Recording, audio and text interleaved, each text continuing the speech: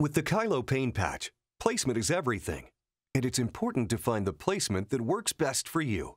For pain located around the hips and upper legs, orient the Kailo horizontally and place it with the upper corner at the bottom rib and the lower corner at the spine on the side of the pain. Move the patch gradually downward all the way onto the buttock if needed. For site-specific pain, please see our additional videos on our website. Kailo, the future of pain relief is here.